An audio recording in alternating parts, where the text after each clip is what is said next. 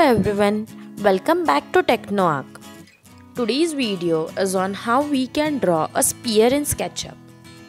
For sphere, first we will draw a circle on x-axis in SketchUp by selecting Circle tool from Toolbox. Now we will cut the circle to semicircle on same axis and make the group of the semicircle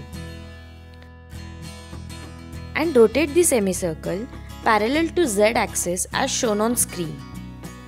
Then we will select circle command from toolbox and taking the center of the semicircle, we will draw circle along the x-axis of same radius.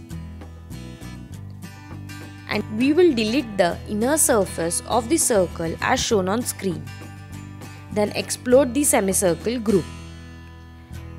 For getting the object into sphere form, we will select the horizontal circle.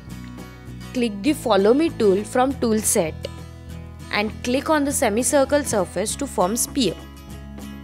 Now select the sphere by triple clicking over it and make a group of the same.